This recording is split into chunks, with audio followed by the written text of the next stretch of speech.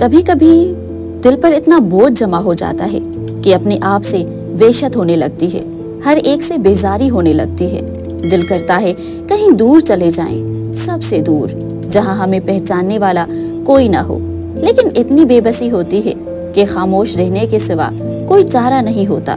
लेकिन इस कैफियत का सबब अगर कोई पूछ ले तो सोचते हूँ जरा कुछ भी तो नहीं फिर ये कैफियत क्यों? शायद सारा दिन इंसान दुनिया के सामने मुस्कुरा के, खुद को मज़बूत पेश करके इतना थक जाता है कि फुर्सत में कुछ देर रोना बेहद ज़रूरी हो जाता है। सुनो, एक खूबसूरत दिल वाली, खामोश लड़की अल्लाह तुमसे मोहब्बत करता है और बेपनाह करता है। तुम्हारा यूँ ही कोई बात पढ़कर मुस्कुरा देना और किसी तहरीर पर आँखें नम हो जाना, किसी बात पर दिल का धड़कना, इसी बात की दलील है। कि तुम अपने अंदर बहुत से जज्बात छुपाए बैठी हो। हंस के आगे बढ़ो और दुख देने वालों पर फातिहा पर डालो। तुम शहजादी हो और शहजादियाँ हार नहीं मानती और वो तुम्हें तुम्हारी ख्वाहिशात से ज़्यादा देने वाला है। बस चलते जाओ उसकी राह में, क्योंकि मंजिल बहुत खूबसूरत है। रास्ते से कई ज़्यादा। इतना याद रखना कि आपको तलक नहीं होना, आपको बदले लेने वाला नहीं बनना। आपको चालें चलने वाला, जाल बिछाने वाला कभी भी नहीं बनना।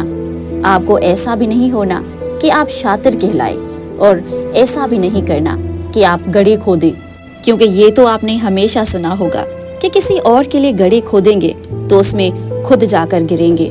जख्म है और दिल पर हैं और रूह पर हैं, लेकिन उन पर मरहम बदला लेकर तैयार ना करें। मरहम आसमानी ही अच्छी होती है, मरहम रूहानी ही शिफा देती है। छोड़ दे। जो हुआ, जाने दे। जिसने जो किया, अपने पीछे दरवाजे बंद करके आगे बढ़ जाएँ। जख्म देने वालों को, तकलीफ़ पहुँचाने वालों को, रूह को रोन देने वालों को, उनके हाल पर छोड़कर अपना हाल ठीक करें।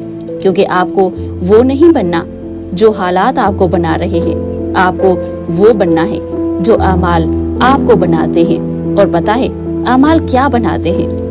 रब का बंदा, मोमिन बंदा और इंसान। क्योंकि याद रखें, ज़िंदगी में अच्छा फैसला करने की सलाहियत तजुर्बे से पैदा होती है और अक्सर तजुर्बा खराब फैसलों से ही आता है।